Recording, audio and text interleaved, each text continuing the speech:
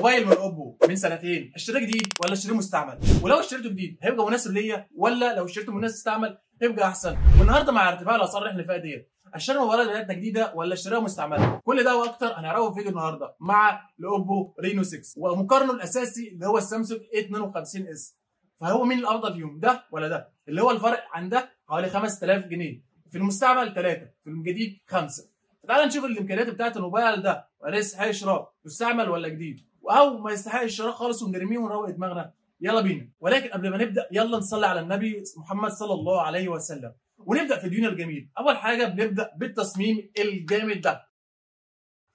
تصميم بصراحة من أفضل تصميمات اوبو اللي وصلت لنا حتى الآن. أقول لك ليه. واصحى معايا كلمة أقول لك ليه دي. اولا تصميم مصنفر حاجة فوق الخرافه هو بلاستيك ولكن مصنفر بشكل جميل بالآخر.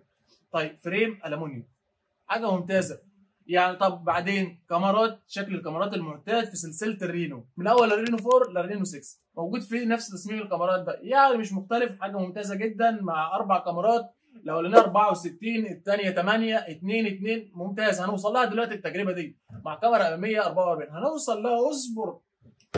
مستعجل انت مستعجل انت دايما خلينا نخش بقى ونشوف الكاميرات يعني. يلا بقى يلا. هنا الكاميرات 64 و8 و2 و2 دول أربع كاميرات بتاعتنا. سيبك بقى من الأرقام ديت إحنا قلنا مش عايزين أرقام. بص على التجربة. خش وشوف التجربة كده قدامك على الشاشة اهيت. 4K ده تصوير الفيديوهات. 1080 برضو في تصوير الفيديوهات. 720 في تصوير الفيديوهات.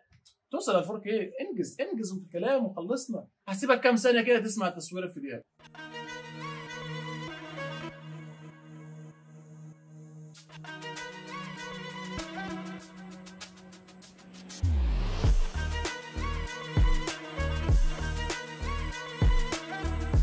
سمعت تصوير الفيديوهات؟ خلينا نشوف الكاميرا الأمامية. الكاميرا الأمامية اهي جميلة خالص. في الجنب. مش في النص. أنا غلطت. غلطت. ما تركزش معايا. في الجنب. 44 ميجا بكسل. كاميرا أمامية في الفئة اللي هي فيها مش موجودة. مش موجودة حرفيا. أوصل لك أجي لك مش موجودة. طب وبعدين؟ هنوصل ليه؟ اديني صور. خد صور قدامك على الشاشة.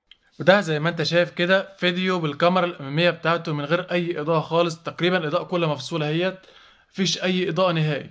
فصل كل الإضاءة. دي بالإضاءة بتاعت الجهاز نفسه. شفت الصور؟ صور ممتازة جدا. هو تصوير ممتاز. لما تقارنها بالسامسونج 52 S اللي قلنا عليه فهو لا تصوير جامد جامد. شوف أنا بقول لك إيه جامد. يعني تصوير ممتاز جدا. ولكن عشان نبقى مش نظلم ده ده شاشة Super AMOLED هنا شاشة AMOLED عاديه آه شاشه AMOLED عاديه ولكن يعني عشان مش بنبقى مع بعض برضه ونظلمهمش حط الجهازين مع بعض. اشتري الجهازين كده أو روح المحل وأنت بتشتري حط الجهازين مع بعض واستخدمهم مش هتلاقي فرق خالص. خالص. يمكن ده تلاقيه يتغلب كمان. لأن ال software Oppo من ال soft مستقره وسامسونج من ممتازه مفيش بعد سامسونج. تصوير كاميرتين في الفئة اللي هم فيها لما تيجي تقارنها بأي جهاز هي الفئة اللي هي فيها فلا تصويره ممتاز جدا. يعني مثلا الجهاز ده لما بدك تجيبه مستعمل هيبقى فرق عن ال 52 S 3000 جنيه. هتجيبه جديد فرق 5000 جنيه. فلا دي كويس ولكن عشان أبقى صريح معاك وإحنا في نص الفيديو كده يا معلم. طب إيه هو؟ إيه هو هو؟ طب قول. أقول لك يا عم. بس أنت عملت like شايفك كده سرحان وما عملتش like ومستمتع على الآخر. ادينا like يا عم.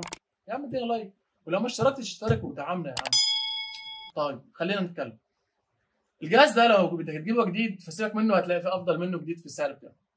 هتجيبه مستعمل؟ لا أفضل حاجة مستعملة في السعر اللي هو فيه ده ده. بلا منازع.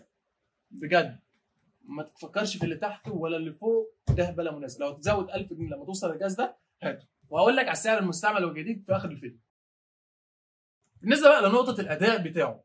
نقطة الأداء بتاعه. هنا المعالج Snapdragon 720 G معالج موجود من سلسلة Reno 4 ل Reno 5 ل Reno 6 مفيش اختلاف ولكن معالج ممتاز جدا بيديلك أداء رهيب. سلاسة في الشاشة زي ما أنت شايف قدامك كده حاجة فوق الممتاز. يعني الشاشة ممتازة هي زي ما أنت شايف يعني حتى لو مش عايز حبيت تبص حاجة ممتازة خالص. سلاسة وسرعة رهيبة جدا.